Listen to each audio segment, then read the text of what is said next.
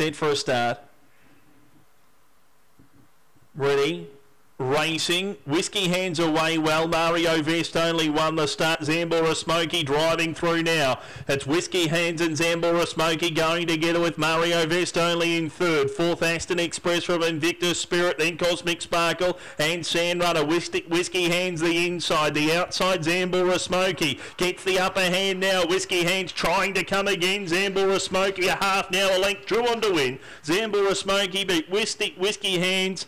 Aston Express, and fourth across was Invictus Spirit from Mario Vest only. Uh, then Sand Runner and uh, Cosmic Sparkle in 25 and 08.